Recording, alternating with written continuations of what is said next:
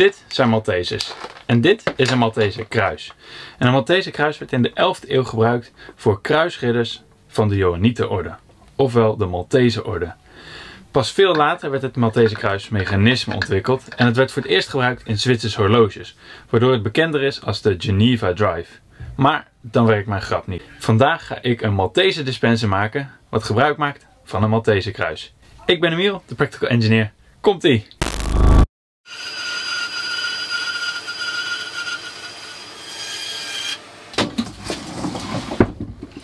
In principe kan je deze hele beeld prima met de hand doen, met de lintzaag of met de decoupeerzaag. Maar om het tijd te besparen ga ik het Maltese kruis zelf lekker op de CNC maken.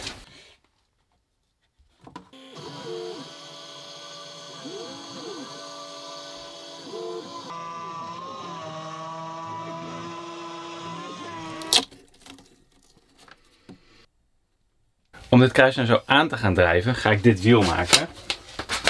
Deze.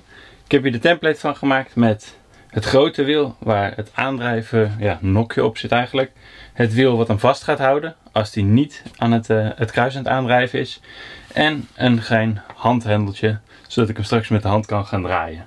Deze ga ik uitknippen en dan kan ik die uit gaan zagen.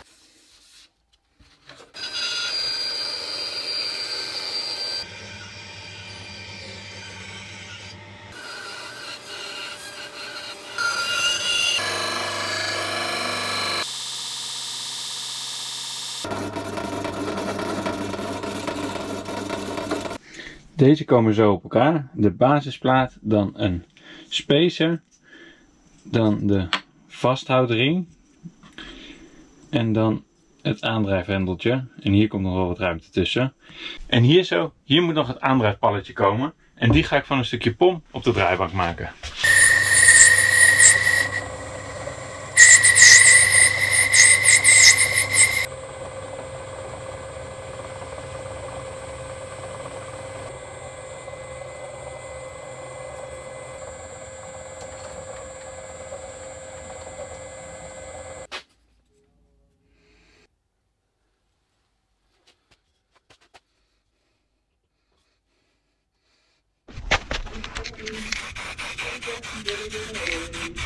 Het gaat allemaal een beetje door elkaar in deze beeld. Maar terwijl het Maltese kruis aan droog is en ook het aandrijfwiel aan droog is, ga ik vastbedden aan de basis. En ik wil dat ehm, ja, eigenlijk het mechanisme het centerpunt wordt. Dus wat ik ga doen, ik ga van deze plank, beukhout, ga ik een voorkant maken met uitsparingen waar precies dat Maltese kruis en dat aandrijfwiel in past. En ook natuurlijk de hopper voor de Maltese, zodat alles mooi in beeld is.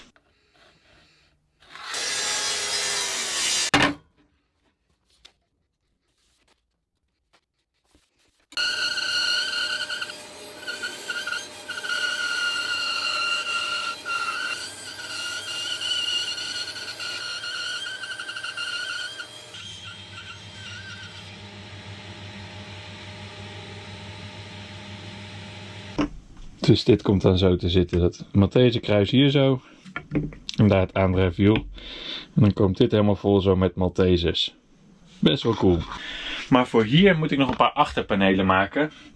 Om al deze componenten in die verschillende lagen van de panelen weg te gaan werken. En uiteindelijk iets maken wat aan elkaar zit. Want dat is ook nog niet helemaal het geval. En dat ga ik gewoon uit multiplex doen. Op dezelfde manier als ik dit heb gedaan. Nou, op het moment dat het Maltese kruis gedraaid heeft, komen die Maltesers eruit. En moeten ze natuurlijk ergens in. En daarvoor ga ik van dit stukje hout een bakje frezen. Hoeft niet zo heel groot, want het is de bedoeling dat je ze gewoon gelijk opeet. Laten we gaan frezen.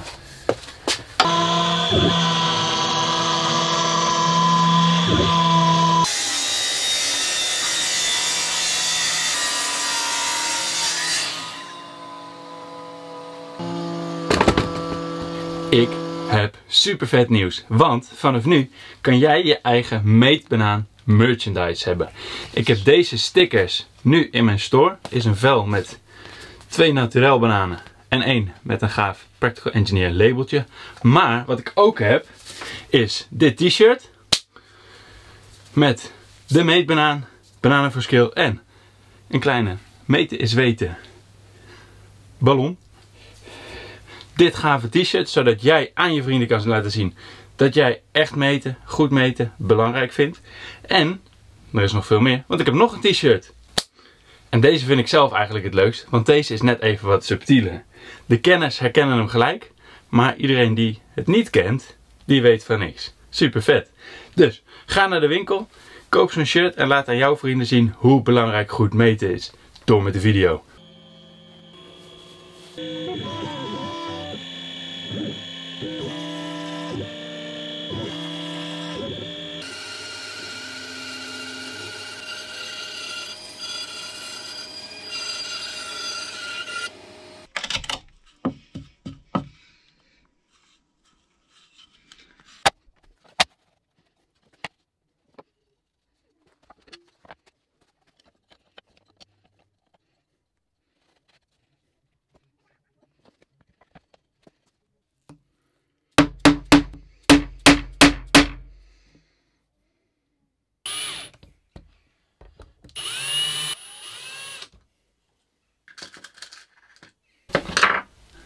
Hart van onze machine.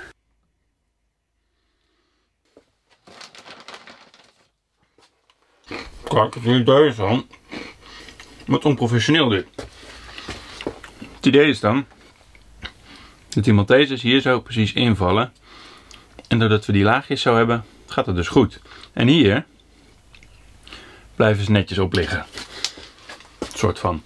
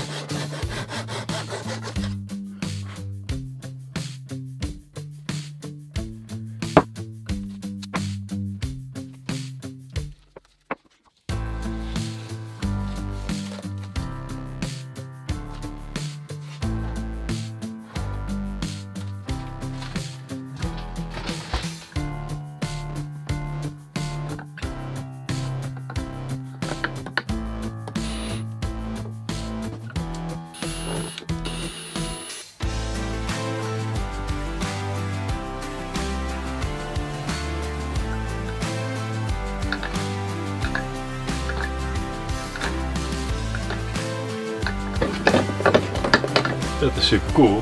Maar laten we hem eens even goed gaan testen.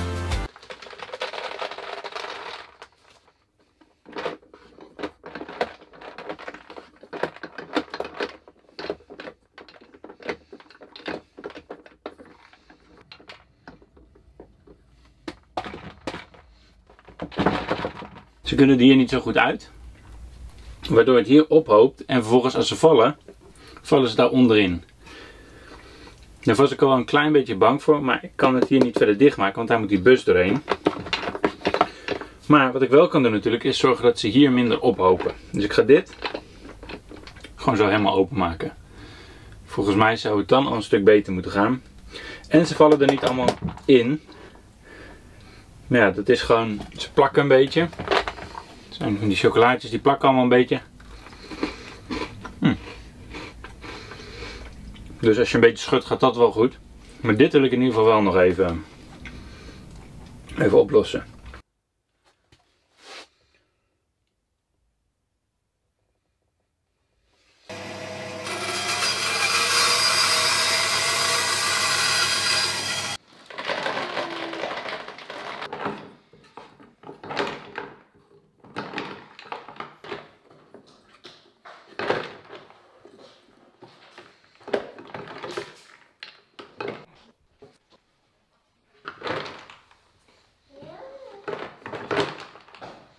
Ja, je hebt een klein beetje het hier bovenin vast blijven zitten.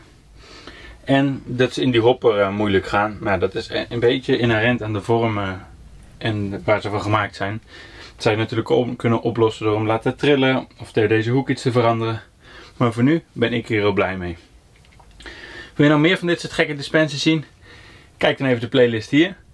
En wil je gewoon op de hoogte blijven van al mijn video's? Vergeet dan niet te subscriben. Tot volgende week.